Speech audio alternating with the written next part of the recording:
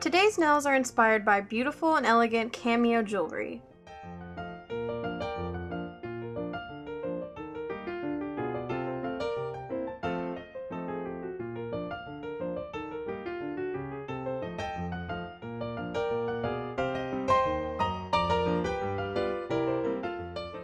I started with two coats of a Barbie pink polish on my accent nails and two coats of white on the others. To create the cameo, I took a large dotting tool dipped in white paint and slowly built up an oval shape in the middle of my nail.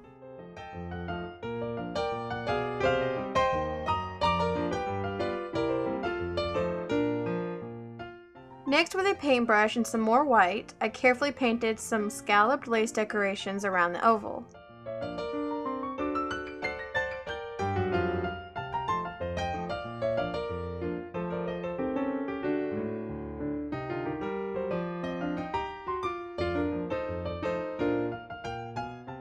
Now for the hard part.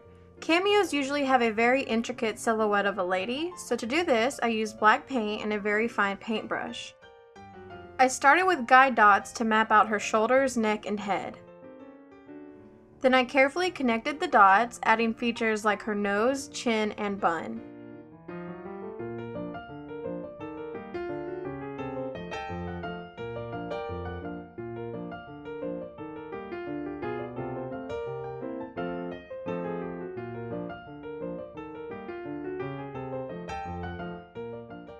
Let the paint completely dry, then apply a top coat, and while it's still wet, I outline the oval with some caviar beads. If you don't have caviar beads, you can always just make small dots with black paint like I did on my other nails.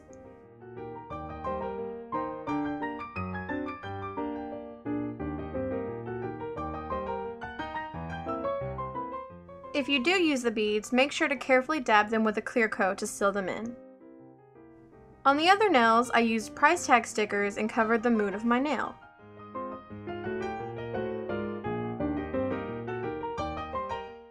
Then I painted it with the same pink polish and immediately removed the sticker. Once the pink dried, I added the ruffle detail again. Then I dotted along the curve of the white moon with black to imitate the beads.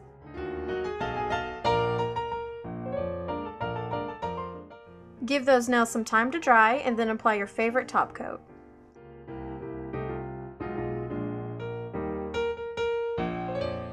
If you enjoyed this tutorial, don't forget to leave me a thumbs up, and if you have any ideas for Halloween nails or any other kind of nail design, let me know in the comments. One of my super awesome subscribers sent me this recreation of my monster cupcake nails. If you recreate any of my designs, send them to me on Twitter or Instagram and you'll be featured in my next video. As always, thank you so much for stopping by guys, and I'll see you next time.